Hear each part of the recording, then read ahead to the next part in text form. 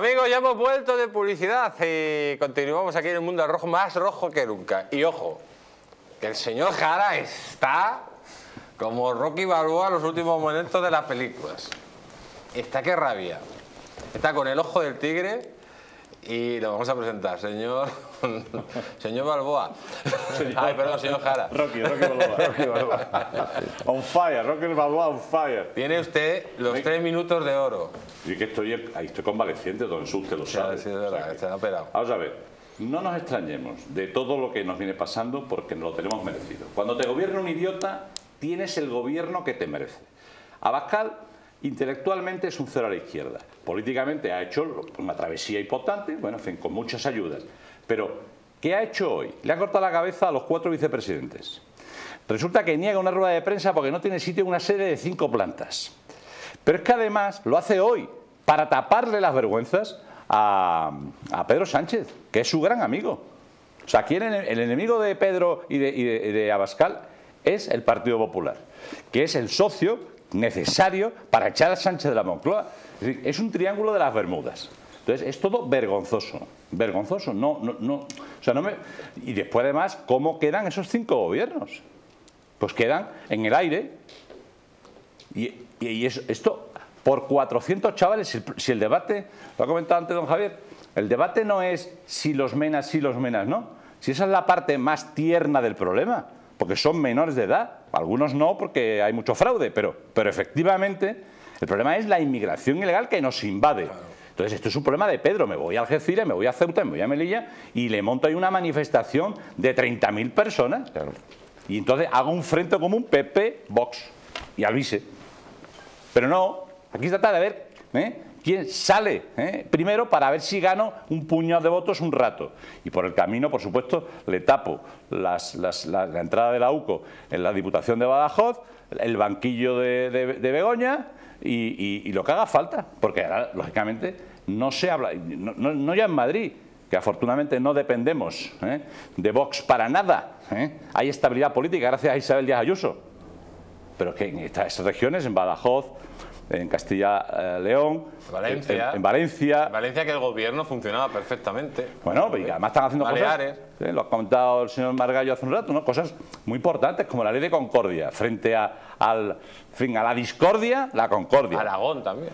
Y bueno, pues en, estos, en estas comunidades autónomas, durante los próximos 15 días no se habla de otra cosa porque es que has partido por la mitad todos los, ejes que el primer año de legislatura es fundamental para que después eh, puedas centrar el resto de los tres años. Y esto, este año yo creo que con altibajos hemos visto cómo en Extremadura aquello ha sido pues, un circo de tres pistas. Sinceramente, hasta que la señora Guardiola y OCE se entendieron con Buxadé. Bueno, pero una vez que eso ya ha sucedido, se asientan otra escandalera sinceramente, tenemos lo que nos merecemos. Bueno amigos, vamos a seguir presentando y mm, de nuestro querido doctor vamos a presentar a nuestro querido Raúl Sánchez. Buenas noches, don Raúl, ¿cómo está? Buenas noches, Jesús. Hombre, no estoy tan eufórico, digamos, no eufórico, ¿no? Pero tan acelerado en este caso como, como mi compañero, pero sí que es verdad que yo estoy, bueno, no indignado, pero creo que es un error, ¿no? O sea, un error porque al final yo creo que pierden tanto el Partido Popular como el Partido... Pierde España. Sí, pierde España por encima de todo, sí. pero pierde eh, tanto el Partido Popular como Vox en este... A mí que pierda los partidos políticos me da lo mismo, pero que, lo que pierda España no. Sí, pierde España y gana Sánchez, ¿no? O sea, al final es un poco la, crónica ¿no? de, de todo esto creo que se ha gestionado mal por parte del Vox, pero yo creo que también se ha gestionado mal, por parte del Partido Popular. O sea, creo que el órdago que le lanzó a Bascal, eh, no sé si hay algo más detrás de todo el tema de la emigración y de los menas, pero, pero es curioso, ¿no? porque al final de todo esto, que la, razón por la que en este caso Vox ha roto los, los gobiernos autonómicos que compartía con el Partido Popular ha sido por el tema de los, de los menas, ¿no? Y, pero Junts en este caso ayer se abstuvo en Cataluña precisamente por, por este tema, que al final es lo que pedía un poco Vox al Partido Popular. Oiga, no voten ustedes a favor, si quieren absténganse como diciendo no estamos de acuerdo y yo creo que ahí ese pulso, eh, no sé si Feijó o no se lo terminó de creer o pensó que bueno, bueno, pues que rompan los gobiernos, que al final salimos ganando, pero si bien es cierto es que ha costado mucho recuperar determinadas comunidades autónomas, como puede ser Extremadura, eh, Baleares y la Comunidad Valenciana para, los partidos, para el gobierno de tanto el Partido Popular como de Vox, y veremos a ver qué va a pasar con esos gobiernos. Veremos a ver, porque sí que es verdad que tienen los presupuestos aprobados estas comunidades autónomas, pero, pero el año que viene probablemente tendrá que haber unas elecciones. Entonces, eh, yo creo que aquí Vox sí que es cierto que con todo lo que está pasando a nivel europeo, que bien lo comentaba antes Margallo, ¿no? todo el tema de, la, de los, grupos políticos que se están, digamos, reagrupando determinadas coaliciones a nivel europeo, el tema de inmigración es un tema capilar ahora mismo para, Vox, porque el tema de migración está generando pues eso, eh, bastante incomodidad en, parte de la sociedad eh, europea, en, eh, en parte también de la de la inseguridad que pueda, crear este tipo de, de, inmigración y vemos a ver cómo se gestiona. Entonces, eh, veremos en los próximos días, porque esto sí que es verdad que esto es un fuego que va a seguir en los próximos días y desgraciadamente esto va a provocar que se hable menos de Begoña Gómez, de David Zagra y de los, y en este caso, los fuegos que tiene Pedro Sánchez en torno a su, a su familia, pues que le ha venido estupendamente que salga esto en, en todos los titulares de la prensa de hoy y y teniendo en cuenta además que la, las declaraciones, que aunque han sido mínimas, de Begoña Gómez eran muy potentes de cara a que abriera titulares de la prensa y al final no ha sido así, porque han abierto los titulares la, decisión de Vox de romper los gobiernos autonómicos. Pues vamos a seguir, y amigos, y vamos a seguir hablando de Begoña Gómez, que es que es la noticia mundial. Begoña Gómez, la mujer del presidente del gobierno, sentada en el banquillo. ¿Cuántas veces hemos hablado, le hemos hablado a ustedes, Sánchez al borde del banquillo, Marlaska al borde del banquillo. Pero es que Begoña Gómez ya en el banquillo. Y atención a esta noticia, dice, es que usted no es más que nadie. Dice, la bronca de cinco minutos del juez a Begoña Gómez. Señor eh, Venegas, sacaron a los, a, los, a los abogados, estas imágenes no han salido publicadas, esto es una exclusiva del Confidencial Digital, en este caso, y hablan cómo Camacho y Begoña se quejaban una y otra vez de que no les grabara, de que no les grabaran, de que solo saliera el audio, de que tenía que obligar a los letrados de la acusación a quitarle los móviles. Insiste una, insiste dos, insiste tres, insiste cuatro, hasta que el juez le dice, oiga, usted no es más que nadie, no voy a sacar los móviles a los letrados, voy a grabarle entera.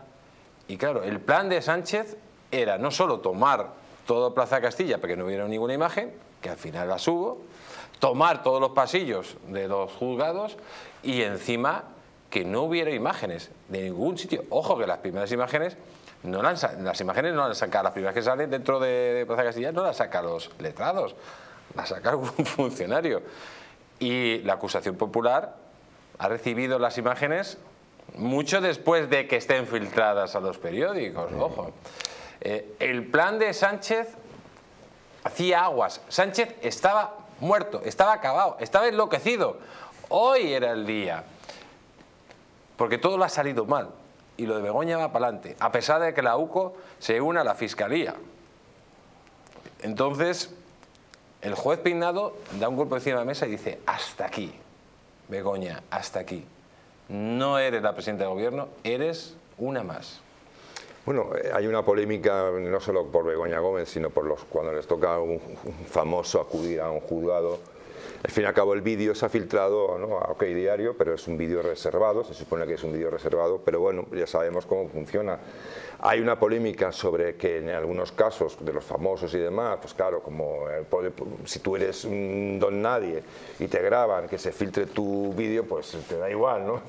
En el caso de personas, pues preocupa más. Pero bueno, en cualquier caso, eh, tendrán que mirar si se filtran o no y buscar y depurar responsabilidades a, a, a, quien corresponda. Pero lo que es evidente es que el juez dice la verdad, es decir, usted no es más que nadie. Es decir, eh, eh, ¿por qué usted no se la puede grabar? O, bueno, ya es que directamente yo creo que, eh, no sé si el juez lo estaría eh, con la mosca detrás de la oreja, pero el espectáculo de Begoña Gómez llegando a los tribunales en coche oficial, escoltada, con 20.000 policías acorralando la zona. Han convertido Plaza de Castilla en la plaza de Tiananmen. Claro, es decir, es decir, pero eso es... No, pero yo me refiero, eh, no solo que eh, conviertan la plaza en, en un fortín, sino el hecho de que hayamos normalizado que una persona que no es ninguna, no representa ninguna institución, que no es más en este caso que una particular, cuya casualidad es que es la mujer del presidente del gobierno y punto, veamos normal que tenga que llegar en un coche oficial que pagamos los españoles. Claro, véngase usted en un taxi que acaso le escolte un coche de policía por su seguridad. Vale, vale, yo no quiero que le pase a usted nada. Pero hemos normalizado verdaderas usos y costumbres que fuera de España son intolerables. Y que por menos de eso, menos de lo que estamos viendo y de lo que estamos en- sabiendo de los indicios o no de lo que ocurre alrededor de la Moncloa, de ese club privado de los Ceausescu, en por menos de eso, por la mitad, la décima parte de eso, arde París, Don Javier, es que ayer le hemos, arde Berlín. le hemos encargado tres bicicletas a Barrabez, 14.000 pavos. Claro, eh, Ya está, no pasa nada. ¿Qué está pasando? Nada. Si viene a Bascalo y lo arregla todo. Claro, pero, es Está, se acabó. pero, pero es que eh, estamos normalizando cosas que son lo que, lo que despudre el sistema o el régimen o como quieran llamarlo, la democracia, lo que lo pudre es normalizar conductas propias de tercermundistas o de repúblicas bananeras o de sociedades de caciques, de caciques. Begoña Gómez no puede ir en coche oficial a testificar, porque no es nadie. Más que, más no es que un acto yo, o más que usted, de o más que- presidencia del gobierno. ¿Eh? Claro, en un No vehículo y tal, eh, que le ponga un taxi, un Uber y que lo escolten dos coches de policía por si acaso, porque no, ya digo que no quiero que le pase nada a esta señora. No, no, por favor. no. Dios, Dios- Dios nos libre. Pero eh, y lo estamos, estamos tragando con todo. Estamos tragando con que eh, bueno, Pero es que viene la jueza decana ¿eh? Y paraliza no sé cuántos juzgados durante tres horas para que todo esto sea posible. O sea, es decir, que además se supone que es de, la, de perfil conservador y que está contra... Pero es to- todo, pero es todo, mira, Pero- es decir, es la pero- humillación constante de todo. Es el rector, el rector de una universidad que va a verla a su casa para que le En secreto. en secreto para ver eh, eh, si me das un máster.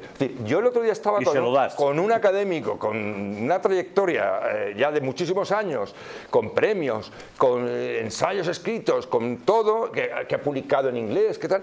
Y dice, sí, yo- lo normal sería que yo le dijera al rector de la, de la universidad autónoma o el que fuera, complutense, me da igual, oye, vente a mi casa que te voy a explicar el plan que tengo para un para un para una especie de curso que me lo vas a pagar tú y, me- me- y además me lo voy a llevar. Además, me- tengo y- tan y claro el- que es bueno. Y el rector, seguro que si le llamo y le digo, se viene corriendo a mi casa.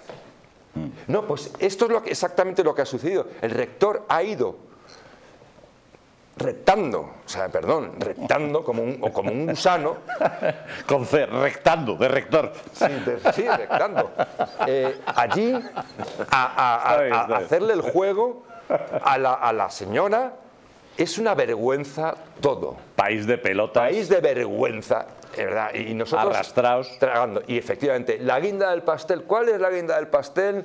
La guinda del pastel es que es el día más maravilloso para declararse la guerra mutuamente. Oye, que también digo una cosa, que en el Partido Popular yo creo que a Feijóo incluso está, y yo creo que en el fondo le, le viene bien. Él está contento porque dice, ahora ya no me pueden decir que yo eh, tengo aliados que son la extrema derecha, ahora ya se me han quitado de en medio solos. Pues que no estoy contento porque sin vos no llegas a ser presidente. No, ya, ya, ya, ya, pero, pero, pero, oye, es que, es que el problema de- de- es la miopía de los partidos. Y lo decías tú muy bien. Aquí el- lo que debería preocupar es el bienestar, es decir, el futuro de los españoles, la situación de los españoles. nación, de los De la del nación, del español. país, de nuestros hijos, de nuestros nietos, de lo que sea. O de los que estén por venir. Don Javier, pero el problema no es Pero Vox. el problema es- el problema es esta dirección. O sea, máximo respeto a esos 3 millones, que han sido hasta casi 5, de españoles que consideran que el Partido Popular no les, representa, no les representa. A mí el Partido Popular, fuera de la Comunidad de Madrid, no me representa. Me parece que hace años que se han olvidado de lo que han sido ¿eh? y no me representa. Son unos eh, miedicas, son unos tibios, son, en fin, lo vemos todos los días, todos los días. De hecho, me fui del Partido Popular porque es que no me representaban. El de Rajoy, el de Soraya. ¿eh? Pero no, Bueno, pues el problema no es Vox, no es su base social, no es que pida fronteras seguras, que haya seguridad ciudadana, que haya más libertad, que se respete la ley. Este no es el problema. El problema, no es el, el problema es que tiene una dirección de mangutas indocumentados que llevan al centro derecha en su conjunto, por acción y reacción, lo llevan a la oposición permanente frente a un orangután venezolano que se llama Pedro Sánchez, que nos está metiendo en una dictadura a, toda tra- a todo trapo. Este es, el, este es el verdadero problema. Pero es que, a ver, hay que, hay que pensar realmente por qué surge Vox. Al final surge Vox, por, yo, yo creo que en mi, caso, vamos, eh, en mi opinión, surge por dos, dos temas principales. Uno, por el tema de la corrupción del Partido Popular, que ya no es la Gürtel, sino son más casos de corrupción. Y segundo, es la tibieza que tiene con los partidos independentistas. El haber gobernado durante muchos años, tanto en Cataluña como en País Vasco, y haber cedido ¿no? Eh, eh, en muchos de los aspectos de los partidos Y independentistas. no haber cumplido una sola promesa electoral, con una mayoría absoluta. Bueno, apa- aparte que podía haber hecho muchas cosas más Bueno, en su dinamita- momento cuando tenía dinamita absoluta, ¿no? y te echa. Entonces, Pues el tema, el tema tiene que pensar, o sea, el PP, como bien comentaba Jesús, necesita a Vox para gobernar, sí o sí, porque es que Vox no va a desaparecer, o sea, por- porque tiene una base social que puedan ser 2, 3, 4 millones de personas que va a seguir votando a Eso Vox. mismo decía Albert Rivera, No, pero, de Ciudadanos. eh, pero en este caso Albert Rivera yo creo que va por otro lado, Albert Rivera fue la O sea, prepotencia que Vox no va a desaparecer la base social, las siglas, eso se puede diluir y eso es uno de, de los motivos por lo que le ha dado una diarrea veraniega ¿ah? a Abascal, a Méndez Monasterio, a Ariza y a dos más, que son los que toman las decisiones ahí. Porque, porque es muy curioso, las anuncian y después reúnen para que les digan que sí. O sea, hace dos días está diciendo que voy a romper los gobiernos. Rotos están. Después de buscar la coartada en el, en el Comité Ejecutivo Nacional, que es muy, muy de Abascal esto. ¿eh? Claro, pero es que el problema también es que a Vox le ha salido otro competidor que en este caso es Alvise, que no contaba con este, con este efecto Alvise, lógicamente, que lo hemos visto en las europeas, que ha sacado 800.000 votos, y ahora tiene un competidor más, porque a la derecha, en el momento que desaparece Ciudadanos, solo estaban PP y Vox. Claro. ¿Cuál es el problema? Que aparece Alvise. Entonces, claro, Alvise, que le estaba un poco comiendo la tostada a Vox en ese sentido y, sa- y sabe más o menos que puede rascar de su, de su base electoral, ha dicho, vamos a dar un golpe de efecto. Pero, claro, veremos a ver quién va a ganar, veremos con el tiempo quién gana en todo esto. Está claro que a corto plazo gana el, el Partido Socialista, Pedro Sánchez, porque se desvía la atención con todo lo que está pasando, Begoña Gómez y toda la familia. Es que mira, hay una cosa importante. Por ejemplo, hay, hay una base de votantes de Alvise, hay una base de votantes que son gente joven, Sí, sí. que primeramente Vox los echa. Y los echa. Los echa de sus márgenes cuando decide que mejor liberales y cuestiones económicas y cuestiones de tal, mm, no. Y estos jóvenes que son españoles de estos de hoy, de su tiempo, Que tienen todas criptomonedas. que tienen criptomonedas, que quieren hacer cosas, que están hasta el gorro de, de un país que es, pone palos en las ruedas para todo, que cobra por todo, es decir, por hacer cualquier cosa sablea. Y estos jóvenes estaban en Vox emocionados con que alguien, por fin, o un partido, iba a dar un puñetazo en la mesa, que no fuera el Rajoy y toda esta patulea, que son más estatistas que, yo qué sé, yo no sé, más estatistas que, que los suecos. ¿eh?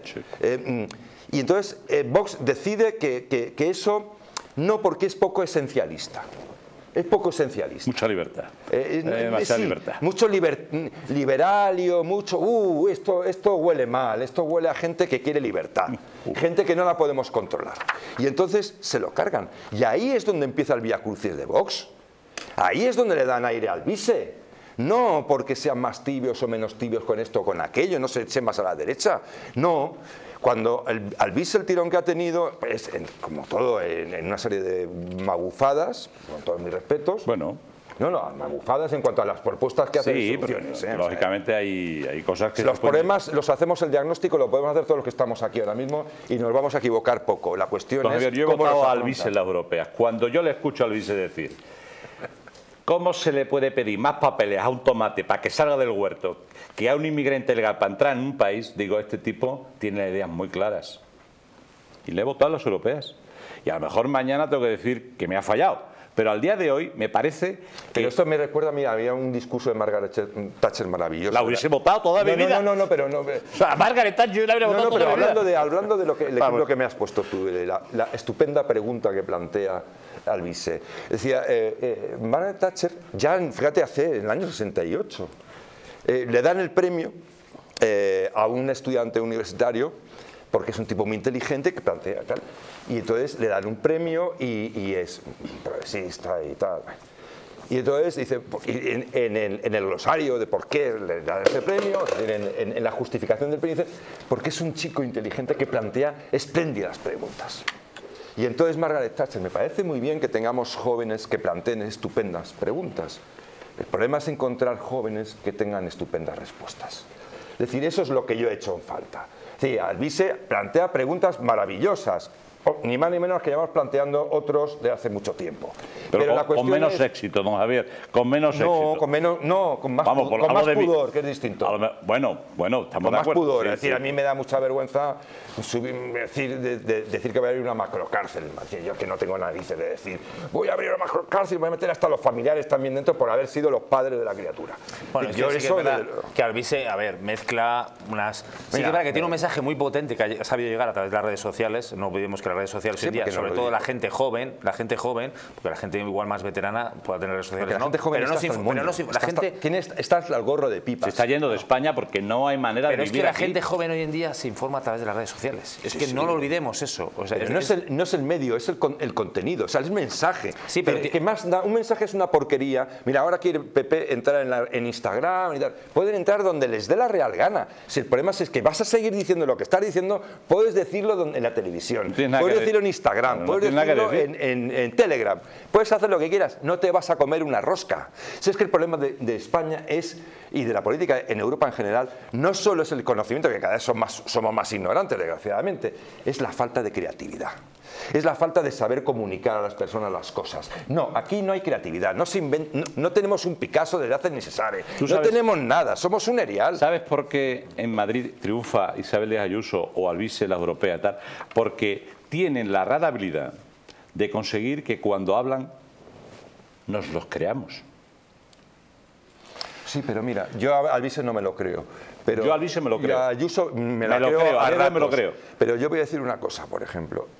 Ayuso, ¿te la crees cuando en una situación, por ejemplo, como la COVID, esta maldita, eh, se atreve a dar un paso al frente y poner, hacer lo que hicieron en Suecia, que los llamaban asesinos y, luego les funcionó mejor que a ninguno, y todo el mundo mirando a China embelesado, oír que vienen los chinos, cómo aprietan las tuercas por la seguridad de todos, un disparate. Eh, pero Ayuso se crece. El momento de Ayuso es que decían, no, eh, cervezas y, y tal. No, no, era un mensaje mucho más poderoso. Le estaba diciendo a la gente joven y a todo el mundo decir, que la libertad está por encima de la capacidad del Estado de decirte lo que puedes o no puedes hacer.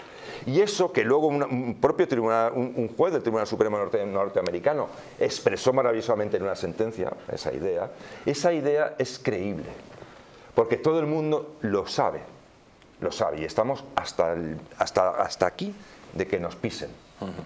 Vamos a continuar, amigos, y vamos a continuar con el tema Begoña Gómez, porque es el tema del día. Olvidémonos ahora mismo de la ruptura de los pactos. Atención, que hay un. eh, Pedro Sánchez está utilizando todo para sacar a Begoña Gómez de la poza que se ha metido. De esa poza eh, de fango y de porquería que se ha metido ella misma. Y ojo, que ya lo hemos hablado con María Pardo y ya llega información de que la UCO está presuntamente haciendo investigaciones, lo vamos a decir de una forma light, flojitas.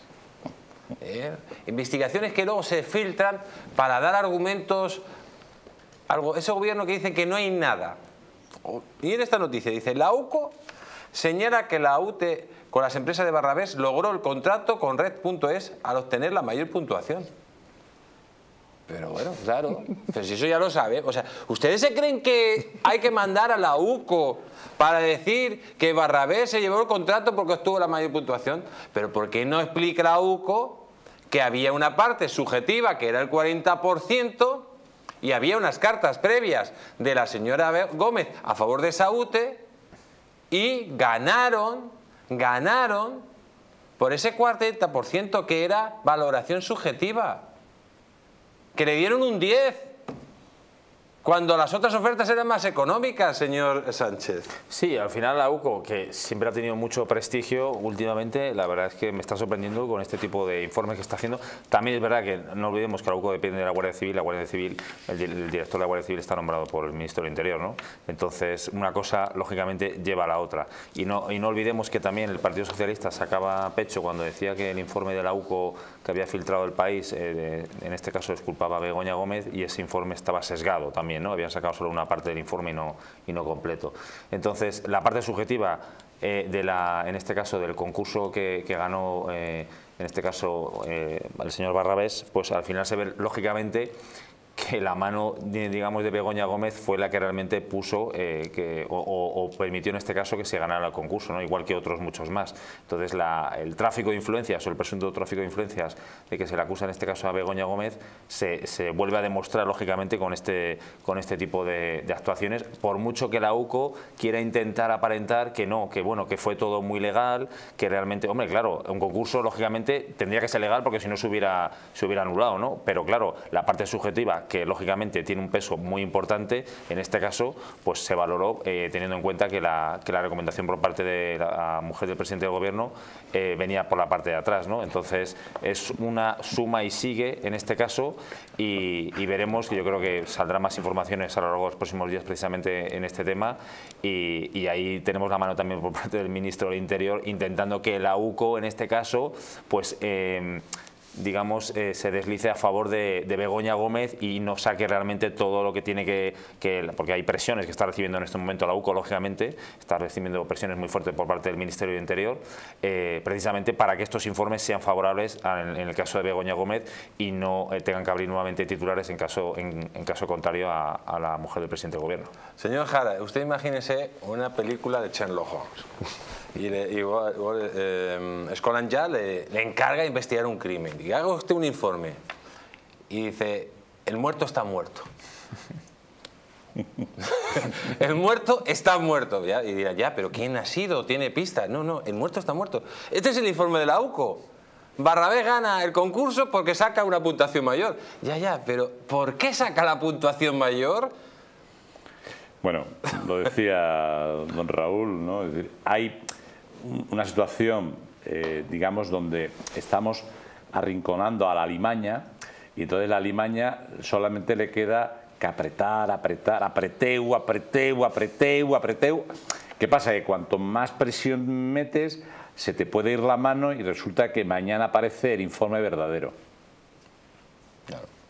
porque te está más, vamos, está o sea, más eh, maquillado que No, no, Tania que, Doris en según una noche. el abogado, según el señor Pardo, que por cierto ha sido ante Guardia Civil, lo ha dicho, Sí. dice, la UCO no está interrogando a nadie.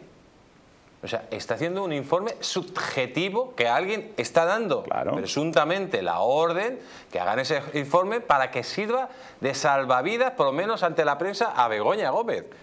Pues, es decir, que, que- que- Marlaska está ahí haciendo un papel esencial, moviendo todos los, eh, en fin, to- todos los mecanismos, que son muchísimos. En el interior hay muchísima capacidad de maniobrar, porque lógicamente son los guardianes de la democracia y por tanto hay mucha capacidad de maniobra. ¿no? Pero ayer con, eh, con Nacho Cano, o sea, no hay antecedentes de que una comisaría zonal haga este tipo de intervenciones. Luego lo veremos. Entonces, joder, pues es- esto, ¿esto a qué obedece? Obedece a una situación donde hay una enorme presión política y después funcionarios más o menos receptivos a esas presiones por la cuestión que sea, ¿eh? en fin, por afinidad ideológica, por intereses comunes, por afán de ascender, por, en fin, no sé O de no descender. o, o de no descender, de que no te hagan un- lo que se llama ya en los términos habituales un pere de los cobos, ¿no? O sea, que te joden la carrera administrativa porque has cumplido con tu obligación y con la ley, ¿no?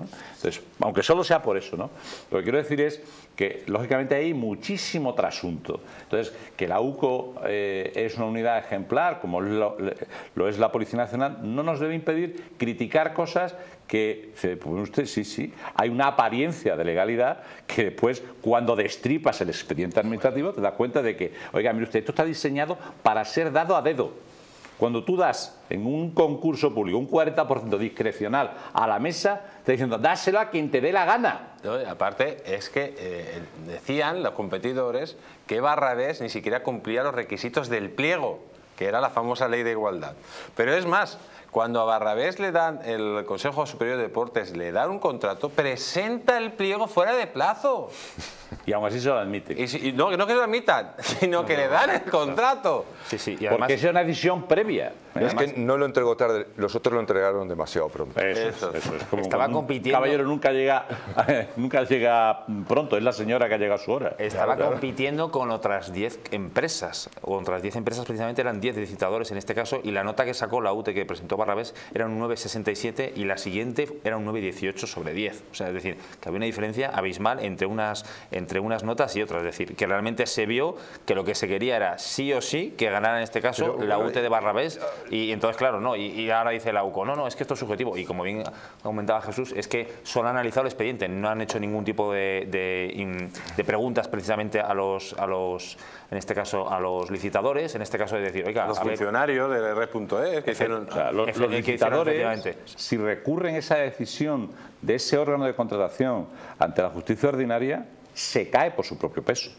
¿Qué pasa? Que ya sabes que ahí no vas a contratar nunca más, en tanto que estén estos en la vida. Entonces, ¿qué pasa? Oye, ¿qué haces? Te acercas, ¿eh? sigilosamente le dices, oye, que yo voy a transigir con esto, porque ya sé que este viene bien, bien recomendado, pero el siguiente es para mí, ¿eh? Porque Bueno, que pues- si no te lo desmonto. Es que ese, ese es el problema. ese es el problema. Es una maquinaria de corrupción que llama a la corrupción, porque yo me callo para que tú se lo puedas dar a tu amigote y así yo la siguiente, como me debes una, te tengo comprometido. Es una ley del silencio porque el que habla se sale del juego. Claro. Lo sacan del juego. Claro, como decía Guerra, ¿no? ¿Eh? Que se mueve no sale en la foto. Bueno, lo que sirve, lo que nos sirve a nosotros, eh, eh, que, que sirva de algo, aparte de que ojalá nos quitemos en este presidente nefasto de, de- de encima, pero que también nos sirva para darnos cuenta cómo funcionan las cosas. Es decir, que, es que España tiene una cantidad de problemas y de deficiencias en el funcionamiento. Es decir, un funcionario hoy, eh, por ejemplo, un abogado del Estado o un, interventor, es decir, un- o un guardia civil, que hoy cumple en, en situaciones de este tipo con su deber, no está haciendo su trabajo, es un héroe. No, y es que además no Es un héroe, se convierte en un héroe, es decir, algo completamente anómalo. Es decir, eh, yo entiendo que en algunos momentos hay situaciones en las que en todo país es todo muy peliagudo. Es decir, no vamos a pensar que somos únicos en el mundo. Pero en España sí está ocurriendo que los funcionarios o bien acaben en la sentina, o bien piden la excedencia, el caso de los abogados del Estado, que yo creo que está a la mitad en excedencia, de los 600 que debe haber, creo que está a la mitad eh, trabajando fuera de- de- del Estado, eh, eh, o bien tienes que plegarte a, estas, a, estos, a estos tejemanejes. Es decir, ¿qué, puede, qué puede llegar a costar al país, por ejemplo, estas adjudicaciones subjetivas? que, bueno, pues que sé, igual un tramo del AVE debería costar un, millón de euros y resulta que con las, con las licitaciones que se hacen y con estos tejemanejes nos cuesta igual el kilómetro 4 millones. Los- lo, estamos, lo estamos averiguando. Y consintiendo. Estamos consintiendo. Es decir, eh, eh, Begoña, para mí, el matrimonio de Ceausescu, es, para mí es como es el epitome ya. Es decir, Pero es que lo que hemos más- creado una máquina tan mortífera que ha llegado el mono con el saco de bombas, que es Pedro Sánchez, y su otro mono, por ejemplo, Oscar Puente y esto- toda esta panda de, de- de serviles, y les hemos dejado ya en mano una máquina de destrucción y de, picar carne. Pero es que no olvidemos que eh, Begoña Gómez accede a la cátedra sin tener la formación necesaria, que es que eso, en, mm, vete tú a, a que te dé una cátedra si no tienes la formación necesaria. O sea, no te la dan ni teniendo la formación necesaria como para que te la den encima mm, sin tenerla. Eso para empezar. Lo que decía mi amigo, decía, voy a llamarle yo para que me dé una a mí. Y la segunda es Y que aquí, la a carrera, casa, profesion- a- eh, venga aquí a casa. la carrera profesional ha sido meteórica desde que su marido, en este caso, accedió a la, a la Moncloa. Es decir, Que Barrabés no tenía adjudicaciones hasta hace tres años. Claro, efectivamente. Oiga, qué tío más bueno, ¿no? Claro. De pronto ha tenido una epifanía, ¿eh? ha mejorado su coeficiente intelectual y de ser un manta se convierte en un tío que le metemos 4.000 millones de, de las pesetas de los españoles entre pecho y espalda de pronto. En nuestro, Y para la UCO le parece normal. Y a Uco le parece todo en fenomenal. nuestro Elon Musk, ¿no? Exactamente. Es decir, en plan así, No, es un- castizo. Una, Es que una para nota. la, la UCO hace ahora. ¿Cómo se llama este? El, el de la Guardia Civil que huía. Eh, Roldán. Roldán, Es sí. que la OCO ahora, mismo hace un informe de Roldán y dicen que es una excelentísima persona que cumple con todas las normas y que no ha robado. que no había falsificado su currículum, Que no había que tenía conseguido. todos los títulos y que Es- tal. es un Ah, hombre- La perfecto. está a ese nivel ahora mismo. No, diría, diría, el AUCO diría, es un señor que tiene dinero.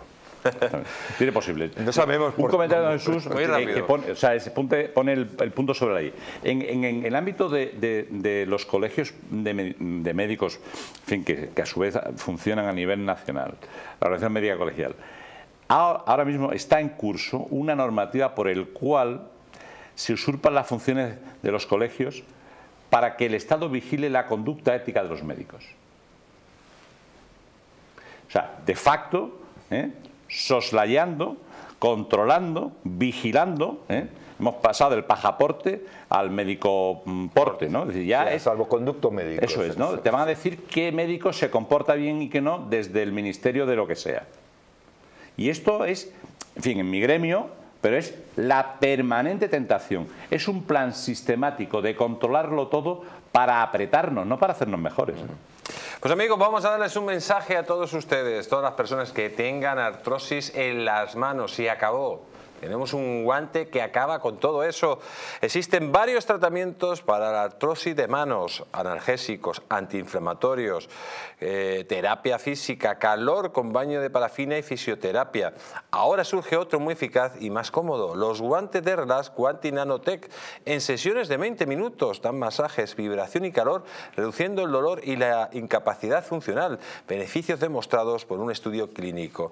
Es fácil, aprietas el botón y esperas a que el guante aplique el tratamiento mientras descansas o realizas actividades ligeras. Se venden además con unos consumibles impregnados de sustancias naturales que pueden aumentar su beneficio durante la sesión. Los guantes de Relax Quanti Nanotech de tecnología patentada van a cambiar la vida de millones de personas que sufren esta patología tan incapacitante. Llama ahora al 930-122 y consigue además un tensiómetro gratis. O sea, sí. Que si usted llama de parte de Distrito TV y del Mundo Rojo consigue un tensiómetro gratis y aparte pídanlo, pídanlo un 30% por los guantes que van a acabar con el dolor de artrosis en sus manos. Pídanlo ya, amigos. Miren, el número lo ponen ahí abajo. 900 730 122. A ver si nos lo ponen los compañeros de, de realización. A ver, el numerito de los guantes. No, parece que no. No les gustan los guantes a los compañeros de realización. Que son muy buenos. Que son muy buenos. Amigos, ya, ahí lo tienen. Vamos, vamos, un aplauso para nuestro compañero.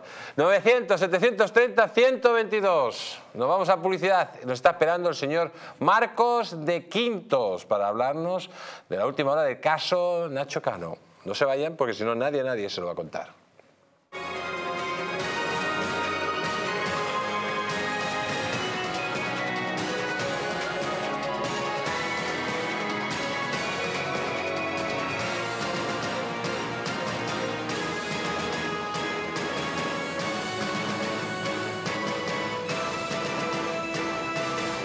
Seguridad protege tus activos de la ocupación. Mediaciones legales y efectivas. Cobertura inmediata 365 días al año. Bull Seguridad con el mundo al rojo.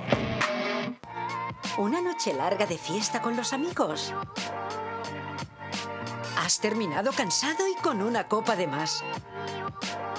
Ahora en exclusiva en Naturhaus, Staff Detox. El remedio que acaba con esas resacas eternas del día siguiente. Acércate a tu tienda más cercana o visita naturhaus.es. En Plus Ultra Líneas Aéreas sabemos que las cosas más importantes de la vida no se ven, se sienten. Son esos lazos que nos atan fuerte a nuestra gente, a nuestros sueños, aunque estemos a miles de kilómetros. No importa de dónde vengas o a dónde vayas. En Plus Ultra seguiremos volando contigo para que nunca te falte lo más importante, los lazos que nos unen. Plus Ultra Líneas Aéreas, lazos que nos unen.